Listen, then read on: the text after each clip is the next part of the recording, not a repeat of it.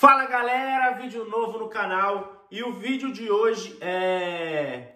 Eu vou estar tá falando quanto levar de dinheiro para Portugal. Então são valores estimados, tá? Que eu vou estar tá falando nesse vídeo, tô com uma colinha aqui. E se você não é inscrito no nosso canal, já se inscreva, deixa o like, ativa o sininho que toda semana tem vídeo novo no canal para vocês. Beleza? Então vamos embora pro vídeo.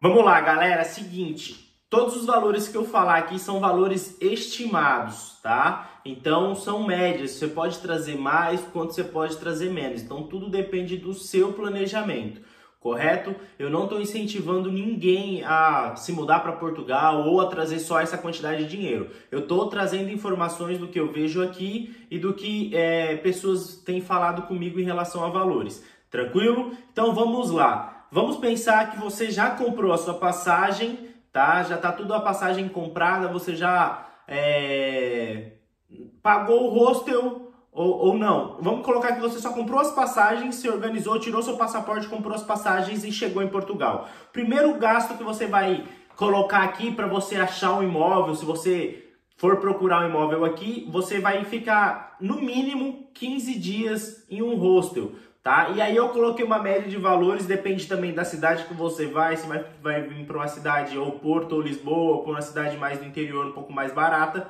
Eu coloquei um valor estimado aqui numa média de 15 dias iniciais de 500 a 700 euros. Você pode achar mais barato ou achar mais caro, tudo depende do seu planejamento. Beleza? Então, os primeiros 15 dias você vai chegar aqui, vai ter que pagar o rosto 500 a 700 euros. Beleza.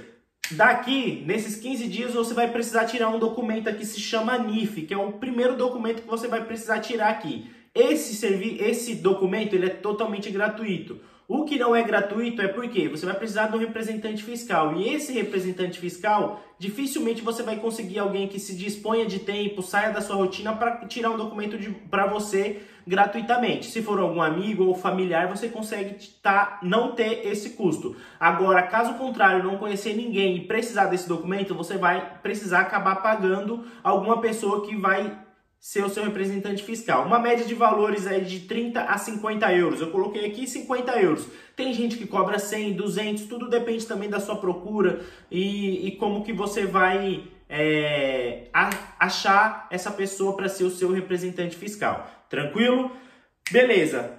Os 15 dias, 50 euros, a média do, do NIF. Vamos colocar alimentação, que você vai ter esses 15 dias para você comer, tomar um café da manhã, almoçar e jantar. Você pode estar no rosto, você vai, não vai conseguir comprar no restaurante, no, no supermercado e fazer em casa para você comer, você vai ter que acabar comendo na rua. Eu coloquei uma média de 200 a 300 euros nesses primeiros 15 dias. Por que esse valor? Por conta que você, se não tiver onde cozinhar no hostel ou no hotel, você vai precisar acabar comendo na rua. E comer na rua vai ficar um pouco mais caro, beleza? Transporte, porque você vai usar Uber, ou trem, ou metrô. Coloquei uma média aqui. Esses valores que eu estou falando são valores para um casal, tá? Exemplo, um casal sem filhos, por exemplo.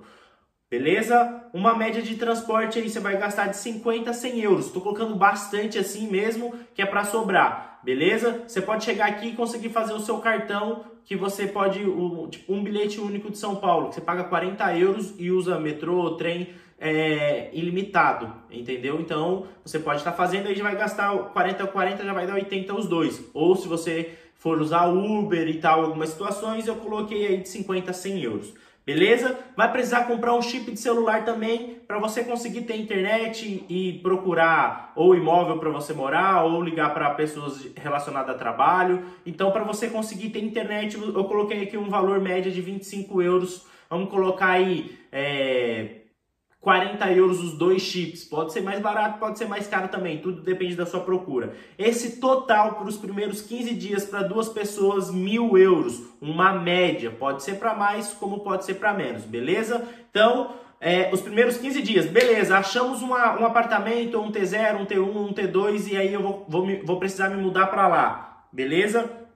Vamos lá, que agora vai entrar um outro valor, que aí eu vou somar os dois e aí vai dar a quantidade de valor, uma média, para que, que você venha o mais preparado possível, beleza? Vamos lá. Achou um apartamento de um T1 ou um T2, os valores dos aluguéis é, estão atualizados, tá? Então, com essa tabela nova agora, que os valores estão lá em cima, um T2 você vai precisar ir, em média, 600 euros. Eu coloquei mais, tem gente que acha 350, 400, 450, 500, mas eu coloquei um valor para cima, para a margem de erro para cima. 600 euros. 600 euros, beleza?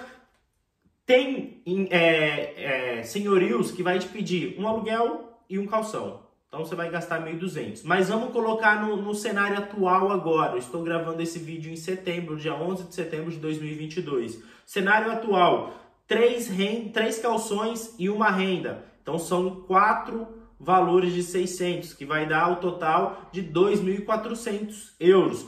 Esse apartamento, se vier mobiliado, você não vai ter mais custo nenhum, né? É só entrar para dentro, vai ter os outros custos, que é travesseiro, lençol e tal. Mas eu coloquei um outro valor aqui também desses gastos, assim, 120 euros que você vai gastar. Então conseguiu alugar, teve que pagar três rendas e um calção, 2.400 euros. Aí se tiver mobiliado, você não vai mais ter custo, só mais 120 euros para comprar as coisas que vai faltar, alguma coisa ou outra. E aí depois você vai comprar. Se não tem televisão, a cozinha só mobiliada, cama e a sala com sofá, você já consegue entrar para dentro e começar a sua vida aqui em Portugal. Beleza? E você não vai ter mais nenhum outro gasto se precisar, se não tiver mobiliado. Agora, se tiver mobiliado, aí já coloca um valor muito mais alto. Você vai precisar comprar geladeira, cama, é, sofá e os outros utensílios beleza? Mas agora você já viu imobiliado, já garantiu aí a economia. Alimentação para os dois meses, tá? É, vamos colocar aí uma média, estou colocando dois meses, tá? É, não, dois meses não, um mês. Alimentação para mais um mês. 250, 300 euros o casal, tá? Pode ser mais, tem gente que vive, consegue regrar no começo menos e tal, então tudo depende do seu estilo de vida, como você está acostumado no, no Brasil e quando você chegar aqui você vai ter que se adaptar a essa nova realidade.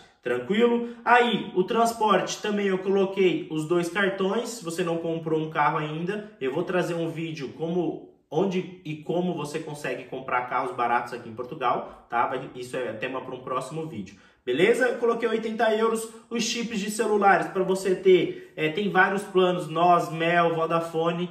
É, eu utilizo o Mel, eu pago 25 ilimitado cada celular, são, então são 50 euros aí que você pode fazer esse plano também. Beleza? Um total desses valores, eu coloquei aqui, ó, 3.050 euros para um mês, certo? Mais 15 dias um total, somando os 15 dias mais um mês com aluguel, a comida e, e esses gastos extras, você vai ter um gasto aí de 4.050 euros, tá? Aí, o seguinte, 4 mil euros você vai ter para você uma gordurinha dentro desses quatro meses, né? Você vai gastar todo esse valor assim que você chegar dentro desse um mês, um mês e 15 dias, quase dois meses, certo? E aí, se você já conseguiu um trabalho na primeira semana, beleza, não vai sair. Lembrando que quando você começa a trabalhar aqui em Portugal, você só vai receber daqui 30 dias corrido, o valor cheio. Então você já vai ter que vir preparado para aguentar todos esses 30 dias trabalhando até vir o primeiro pagamento, tá? Então assim, uma média confortável para um casal que eu indico, quanto mais melhor. Já vi gente que veio com muito menos do que esse valor e deu certo. E já vi pessoas, ouvi de pessoas que vieram com pouco dinheiro, precisou e teve que pedir ajuda porque acabou o dinheiro. Então tudo depende de pessoa por pessoa, tá? Mas uma média confortável, 5 mil euros para o casal, beleza?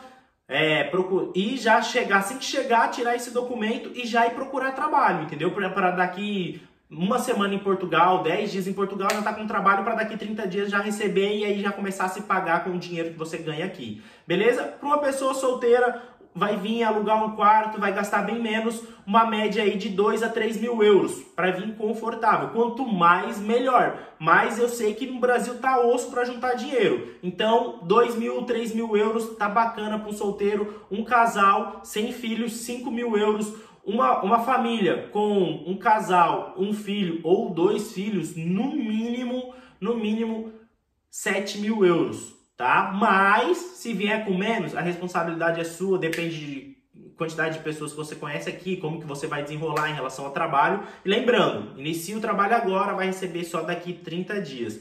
tá? E aí dentro desses valores aqui eu não coloquei água, nem luz, nem gás, tá? Mas tem essas despesas também que você pode estar tá acrescentando aí dentro desse desse custo de vida, desse dentro desse valor inicial para você chegar de maneira confortável. Então, só recapitulando todos esses valores, um casal, no mínimo 5 mil euros. Um casal com um ou dois filhos, no mínimo 7 mil euros. Uma pessoa solteira, no mínimo 3 mil euros. Em vez de falar dois, 3 mil euros. Tá? Já com a passagem de ida, as suas passagens já pagas, o seu passaporte já pago, não entra dentro desse valor. Literalmente, esse valor em conta ou no N26 ou no Wise para você chegar aqui e e gastando com responsabilidade. Até porque quando a gente chega de lá para cá, a gente troca cinco reais para um euro. Então tem que trabalhar bastante. Eu sei o quanto é, você está se organizando, porque eu fiz isso também para me mudar. É, tive que vender os, os os móveis, né? É, vender carro, vender moto. Então você acaba se desfazendo dessas coisas e aí quando você chega aqui você vê seu dinheiro indo muito rápido e aí começa a dar um desespero. Então se você tem uma reservinha para segurar, melhor ainda, você vai conseguir procurar trabalho sem ficar naquela afobação. Claro, tem que ser correria. Chegou aqui, já tem que ir para cima, faz os documentos, já vai atrás de trabalho para com que você consiga desenrolar sua vida o mais rápido possível. Beleza, galera? E lembrando, esse vídeo está sendo gravado ah, é, em setembro de 2022. Pode ser que em dezembro esses valores modificam, ou para mais ou para menos. Hoje, o arrendamento aqui é a parte mais difícil. O trabalho tem bastante. O trabalho para você chegar e começar, não ficar escolhendo muito. É restauração, é fábrica. Então tem que chegar, fazer currículo e nas entrevistas e entregando, você já começa a trabalhar. Então tem que ser correria. Chegar aqui tem que literalmente meter marcha, porque o dinheiro sai e sai com força. Beleza? Quando a gente chega aqui, a gente fica deslumbrado, vai no mercado, nossa, é um euro, dois euros, é muito barato, mas a gente ainda tá jogando dinheiro do Brasil para cá, então tem que tomar cuidado com isso. Beleza, galera? Então é isso, um grande abraço, deixa o seu like, se inscreve no canal, ativa o sininho e até semana até o próximo vídeo, beleza? Valeu e fui.